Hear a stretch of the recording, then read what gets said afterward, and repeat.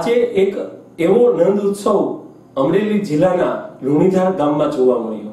નંદ ઉત્સવમાં ખરા અર્થમાં કૃષ્ણ ભગવાને જે પ્રકૃતિ અને સૃષ્ટિ બચાવવા માટે થઈને જે કાંઈ કાર્યો કર્યા, એનું આબેહૂબ દ્રશ્ય લુણીધાર ગામમાં જોવા મળ્યું. લુણીધાર ગામમાં આ નંદ મહોત્સવમાં અગિયારસો વૃક્ષો વાવીને લુણીધારને ગ્રીન નગર બનાવવા માટેનું એક એવું ગૌકુળિયું ગામ બનાવવાનું સંકલ્પ કરતા લુણીધાર ગામના લોકો.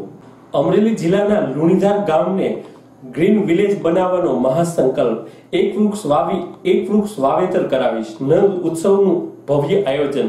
શ્રી કૃષ્ણ જન્મોત્સવમાં અગિયારસો વૃક્ષનું વાવેતર કરી ને ઉજવીશું. આવો એક કાર્યક્રમ રૂણીધા ગામમાં રાખવામાં આવ્યો હતો. આ કાર્યક્રમમાં પ્રકૃતિ ફાઉન્ડેશનના શ્રી મનસુખભાઈ રાદડિયા, યુએસએ જળ ક્રાંતિ રાજકોટ મનસુખભાઈ સુવાગ્યા, ખોડલધામ સમિતિ અમરેલી, વસંતભાઈ મોવાલિયા, ગાયત્રી પરિવાર, બરવાળા બાવીસી વસંત અમર સાહેબ આશ્રમ, દેવગામ સંદ્રેશભાઈ વાળા, પ્રકૃતિ પ્રેમી, શિક્ષણવિદ ઉદયભાઈ દેસાઈ સહિતના મહાનુભાવો ખાસ ઉપસ્થિત રહ્યા હતા અને અ, પ્રે સેન્ટરના બાળકો દ્વારા આજે નંદ મહોત્સવને ઉજવતી રીતે મટકી ફોડનો સુંદર કાર્યક્રમ પણ કર્યો હતો અને આ કાર્યક્રમમાં જળ ક્રાંતિના પ્રણેતા એવા સુવાગ્યભાઈએ લોકોને જળ ક્રાંતિ તેમજ વૃક્ષો વાવવા માટે થઈને અપીલ કરી હતી. તેમજ સાથે સાથે વૃક્ષ વાવો અને પ્રકૃતિની સાથે સાથે માનવ જીવનનું નિર્માણ થાય વ્યસન મુક્તિ પણ કરવા માટેનો કાર્યક્રમ પણ સુંદર રીતે કર્યો હતો અને વ્યસન મુક્તિ માટે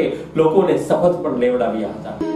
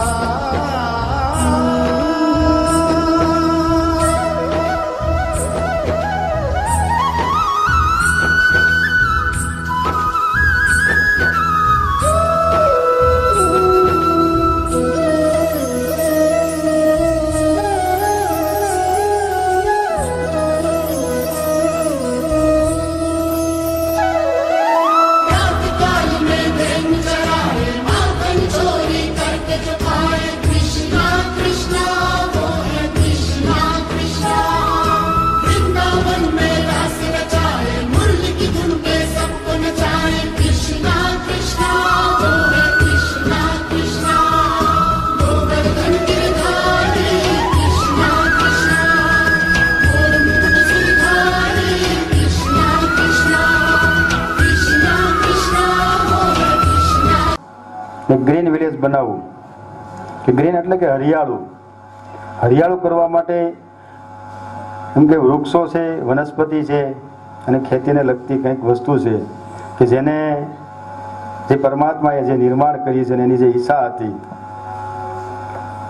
અને એનું સર્જન કરેલું આજ ઘણું બધું નુકસાન કર્યું છે સમાજે.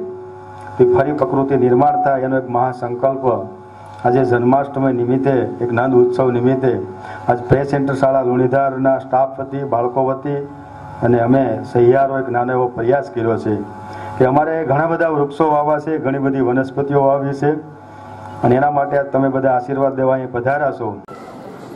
વૃક્ષ વાવવું શેના માટે આપણે વાવીએ? આપણે સૌ જાણીએ કે જ્યાં વૃક્ષો હશે, ત્યાં જ વરસાદ આવશે. અને વરસાદ આવશે,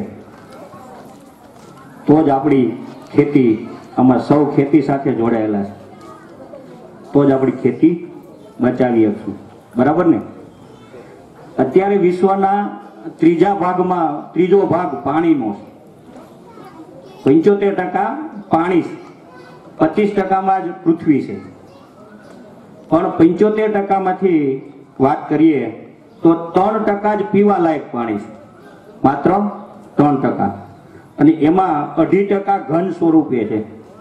અને પોઈન્ટ પાંચ ટકા પ્રવાહી સ્વરૂપમાં છે. અને એમાંથી જો વાત કરીએ તો વિશ્વમાં વિશ્વ લેવલે ચાલીસ ટકા શુદ્ધ પાણી મળે છે અને સાઠ ટકા મનસુખભાઈ, અશુદ્ધ પાણી આપણે સૌ પીએ છીએ. બધી વાત થઈ. પણ વસંતભાઈ વાત કરી એમની પંક્તિ મને યાદ આવી, નાનો હતો ત્યારે ભણતો છે કે ખારા જળનો દરિયો ભર્યો, મીઠા જળનો લોટો. આ તરસ્યાને દરિયાથી એ લોટો લાગેલો આ આટલું બધું વિશાળ સૃષ્ટિ ઉપર ત્રણ ભાગમાં પાણી હોવા છતાંય એ લોટાનું પાણીને કવિએ મહત્વ એટલું બધું શું કામ આપ્યું છે?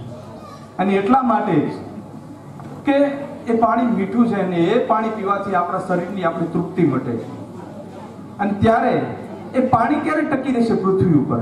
જો પૃથ્વી ઉપર વૃક્ષો હશે અને એની યોગ્ય માવજત થશે અને આપણે પણ એને સમજી શકીશું કે વૃક્ષનું મહત્વ શું છે, ત્યારે એની આ પાણી પૃથ્વી ઉપર સારી રીતે ટકી શકે. એક વાત બહુ ગમી અહીંયા, કે દરેક સમાજના લોકોને સાથે જોડવાનું જો કોઈ કામ કર્યું હોય ભરતભાઈ મને બહુ ગમ્યું.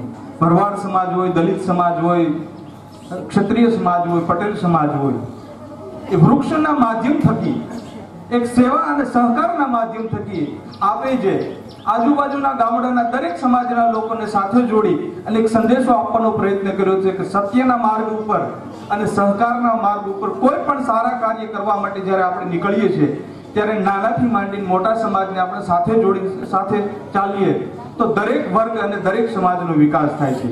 એ બદલ આપને ખૂબ ખૂબ અભિનંદન આપું છું. દેવ સ્વરૂપ પરમાત્માને અંતરાત્મામાં ધારણ કરીએ છીએ. કે પરમાત્મા અમારી બુદ્ધિને સન્માર્ગ તરફ પ્રેરિત કરો.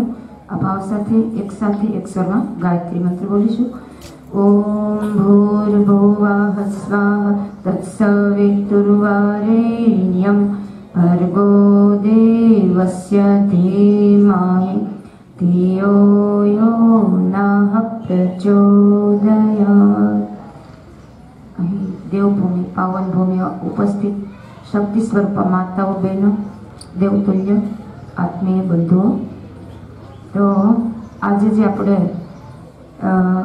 વૃક્ષારોપણ, જે ભાઈનો એક સંકલ્પ છે કે ગ્રીન વિલેજ. તો આ ગામમાં તો ઘણું બધું એવું વર્ષોથી કામ રહ્યું છે. એમની પાસેથી અમને પણ પ્રેરણા મળે છે. અને આપ બધાને પણ એમાંથી ખૂબ ખૂબ પ્રેરણા લેવાની છે. અને આપણા ભારતીય સંસ્કૃતિમાં ઘણા બધા પર્વ તહેવારો આવે છે આવે છે. તો એ પર્વ તહેવાર એટલા માટે કે એ દિવસે આપણે કાંઈક શુભ સંકલ્પો લેવાનો હોય છે. માત્ર ખાઓ પીવો મોજ કરો એટલા માટે આપણા પર્વ તહેવારો નથી. તો એક તો જન્મદિવસ તો દરેકનો એક વર્ષમાં આવે છે. બાળકોનો, મોટા ભાઈઓ, બહેનોનો. તો એક સંકલ્પ એ દિવસે લેવાનો કે જન્મદિવસના દિવસે માત્ર કેક કાપી અને દીપ બુજાવવા મીણબત્તી જે બુજાવે છે, એક વિકૃતિનું કામ છે. જ્યારે દીપ પ્રગટાવી એમની પાસેથી પ્રેરણા લેવાની હોય છે, એ દિવસે આપણે દીપ બુજાવીએ છીએ. જેમને દિમાગનો એ પણ વિચારી શકે છે કે જે દીપને એમની પાસેથી આપણે ઘણી બધી પ્રેરણા નિવૃત્તિ પછી એક પ્રકૃતિનો પ્રતિનિધિ છું કહીશ તો ખોટું નથી. કારણ કે ઉમાશંકર જોશીએ ખૂબ સરસ વાત લખી છે કે વિશાળે જગ વિસ્તારે નથી તું એક માનવી. પશુ છે, પક્ષી છે છે વનો ને વનસ્પતિ. આ તમામ કામ પર્યાવરણનું. તેમાં વૃક્ષો પણ આવી જાય છે, પાણી પણ આવી જાય છે, પ્રકૃતિ પણ આવી જાય છે વનો ને વનોની સૃષ્ટિ, એટલે વન્ય પ્રાણીઓ અને અન્ય આપણી પ્રાણી સૃષ્ટિ પણ આવી જાય છે. અને એ જો સાયકલ આપણે ચાલુ નહીં રાખીએ એ પ્રક્રિયા આપણે ચાલુ નહીં રાખીએ બચાવવાની, તો આજે નહીં તો કાલે આપણી પરિસ્થિતિ ખૂબ ખરાબ થવાની છે. આ દિશામાં તાજેતરમાં સાંપ્રત સમયમાં લગભગ દરેક ગામમાં તમે જોશો તો દરેક ગામમાં આની જબરજસ્ત જાગૃતિ ઊભી થઈ છે મનસુખભાઈ. કદાચ આપને મારે નિમંત્રણ દેવું છે, કદાચ તમે જોયું હશે અથવા તો તમારી પ્રેરણા પણ હશે કે એક કરોડ કરતા બે કરોડ કરતા પણ વધુ રકમ એકત્રીકરણ એકત્રીકરણ કરીને સણોસરાની બાજુમાં જબરજસ્ત પાણીને રોકવાનું ખૂબ મોટું કામ કર્યું છે. કદાચ આપની પહેલા મને ખબર નથી, પણ ત્યાં વૃક્ષોને વાવવાનું અને જબરજસ્ત માત્ર ને માત્ર પોતાના ખર્ચે સ્વ ખર્ચે. કદાચ કોઈને જોવા જવું હોય તો જોવા જવાની જરૂરિયાત છે. આ કામ ખૂબ જબરજસ્ત રીતે થઈ રહ્યું છે. અને આજે નહીં તો કાલે જો આપણે નહીં કરીએ, તો એની માત્રા આપણે જે પ્રમાણમાં રાખવી જોઈએ, જે જાળવી રાખવી જોઈએ, આપણે રાખતા નથી. વૃક્ષો ખૂબ કાપ્યા છે. એટલે આ પરિસ્થિતિ આજે નહીં તો કાલે આવવાની છે. એટલે આ પરિસ્થિતિનું નિર્માણ હવે કરવામાં આવી રહ્યું છે અને બધા જ લોકો આ દિશામાં જાગૃત થઈ રહ્યા છે. આપણને એક મનસુખભાઈ, એક એવી વ્યક્તિ મળી કે જેણે આ ગામમાં પગલા પડ્યા આપણે બધાને એવો ઉત્સાહ કર્યો કે અહીંયા જેથી કોઈ દીકરાને હોવા ન દે ને એ પણ પાંચસો પાંચસો હજાર હજાર પાંચ પાંચ હજાર કાઢી ને એવડું મોટું કામ થયું કે દસ વર્ષની અંદર કે લુણીધારના ગામની અંદર દસ ઇંચ વરસાદ પડે ને મનસુખભાઈ, તો ચાર ચીમના અમારે કુલ પાંચ ચીમ થાય છે, ચાર ચીમમાં નદી ન આવે. આવડું મોટું વરસાદનું હોય સો ટકા પાણી રોકવાનું મહાન કામ આ મનસુખભાઈએ કર્યું. અને આ જ મનસુખભાઈના જન્મદિવસ નિમિત્તે આપણને બેને વાત કરીને કે શું કરવું જોઈએ. આ મનસુખભાઈના જન્મદિવસ નિમિત્તે આપણને એને તેથી પચીસ ટીકા આપ્યા આપણને મને આ વૃક્ષ વાવતા શીખવાડ્યો ને મનસુખભાઈ? તો એ પણ તમારી જૈન છે. આ ગામ ભયાનક જળ સંકટથી સપડાયેલું હતું. ત્યારે ભરતભાઈ વેગડે મને આમંત્રણ આપ્યું હું આ ગામમાં આવ્યું. અને એક સભા લઈ અને સંકલ્પ કરાવ્યો. તો બે ગામ લોકોએ તમામ નદી વેણ ઉપર ચેકડેમનો સંકલ્પ કર્યો.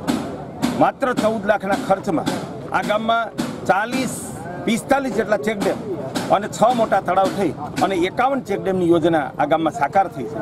એનાથી આ ગામનું કૃષિ ઉત્પાદન ચાર ગણું થયું છે. અને એ કામ સંપન્ન થયા પછી ગામડું ભાંગતું બચી ગયું. અને પછી અહીંયા વૃક્ષારોપણનું કામ લીધું છે. અને ઓછામાં ઓછા પાંચ હજારથી વધુ વૃક્ષો ઉછેર્યા છે. પચીસ હજાર વૃક્ષો આ ગામમાં વાવવા, ગાંડા વાવડ મુક્ત ગામ બનાવવું, એવો મારો જળક્રાંતિ ટ્રસ્ટનો, ભરતભાઈ વેગડનો અને ગ્રામજનોનો સંકલ્પ છે. પછી એ ઉપરાંત આને વ્યસન મુક્ત ગામ બનાવવું આદિવાસી ગામ ભેખડિયાન જામલીને અમે ભારતના પ્રથમ સંપૂર્ણ વ્યસન મુક્ત ગામ બનાવ્યા છે. ત્યારે આ ગામનો પણ સંકલ્પ છે અને આજે ગામના તમામ ભાઈઓ બહેનોએ પોતે વ્યસન મુક્તિનો સંકલ્પ લીધો છે અને પોતાના જીવનમાં ઓછામાં ઓછા દસ વ્યક્તિની વ્યસન મુક્તિ કરાવશે. જો આપણે સૌ એવી રીતે પ્રયત્ન કરશું, તો આપણું જીવન, આપણો પરિવાર, આપણું ગામ અને ભારત સંપૂર્ણ વ્યસન મુક્ત થશે. જળ ક્રાંતિ ગીર ગાય ક્રાંતિ, ગાય આધારિત કૃષિ દિવ્ય ગ્રામ યોજના સાથે વ્યસન મુક્ત ભારત, એ પણ અમારા જીવનનો એક મંત્ર છે.